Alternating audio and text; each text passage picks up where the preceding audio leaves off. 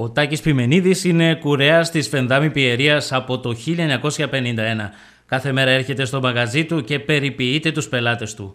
Το κουρίο του είναι ταυτόχρονα ένα μουσείο φωτογραφίας αφού υπάρχουν εκατοντάδες φωτογραφίες της προσωπικής του ζωής αλλά και προσωπικότητων που πέρασαν από το μαγαζί στα τόσα χρόνια ανάμεσα στις τόσες αναμνήσεις και ένα κράνος Γερμανού στρατιώτη από τον πόλεμο του 40. Ο κύριος Τάκης υπήρξε παίκτης του ποδοσφαίρου αλλά και οργανοπαίκτης. Εκεί πάνω είναι ο αδερφός μου,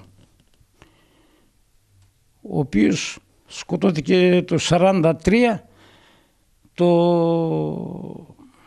από τους γερμανους Είναι ο πρώτος αντάρτης στα Πιέρια. Όμως τώρα πρέπει να εγκαταλείψει το μαγαζί, καθώς το κατάστημα δεν διαθέτει ταμιακή μηχανή και ως εκ τούτου αντιμετωπίζει πρόβλημα. Ο ίδιος λέει ότι αυτό το κουρίο είναι η ψυχή του και η ζωή του ολόκληρη. Ήρθαν και μου είπαν ότι πρέπει να σταματήσει γιατί δεν έχει ταμιακή. Εμένα δεν με ενόχλησε κανένας να μου πει γιατί κρατάς το κουρίο; Πέρασε μια φορά από την εφορία, απαλλάσσε. Ύστερα ήταν επί Παπαδοπούλου, μας είπαν ότι κάτω των 2.000 κατοίκων. Δεν, και παναπαύτηκα ε, αυτά που μου είπαν. Ήρθε προχθές να πάρουν το...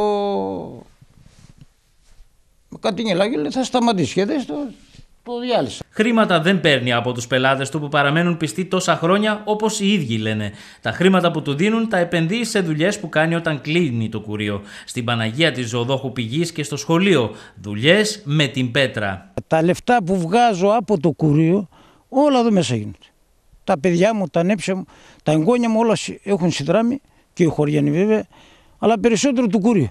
Ό,τι έβγαλα όλα τα βάλα εδώ πέρα.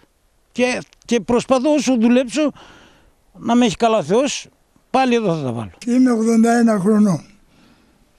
Τώρα, άμα κλείσει αυτός, πού θα πάμε να μας καθαρίσουν τις βρωμιές; Η νεολαία δεν έρχεται.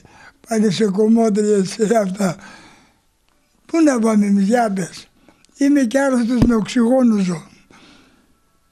Πετε μου, πού να πάω στην Κατερίνη; 342 ευρώ περνώ. Αυτός πολλές φορές δεν το πληρώνω Είμαι 76 χρονών. Αυτόν τον έχουμε εδώ πέρα, έρχεται και στο σπίτι. Φράγκο δεν μας πήρε. Αυτά, τι πράγματα είναι αυτά, δεν μπορούμε να καταλαβαίνουμε εδώ τι θα γίνει. Τώρα πού θα πάμε.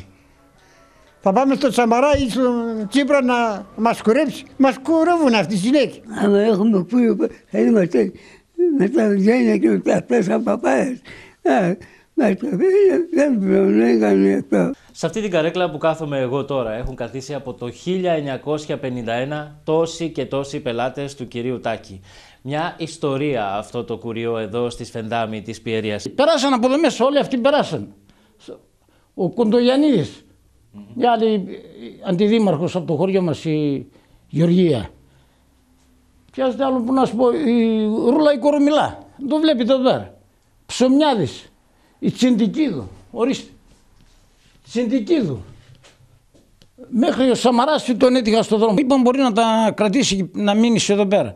Να μείνω εντάξει και αν δεν θέλω δεν μπορώ να το χωριστώ. Δηλαδή πρέπει να μου πάνε ένα εκτελεστικό απόσπασμα να μου πάνε να πούνε δεν, δεν, δεν μπορώ να το αφήσω. Ε, το έμαθα, είναι 65 χρόνια κουρέας είμαι.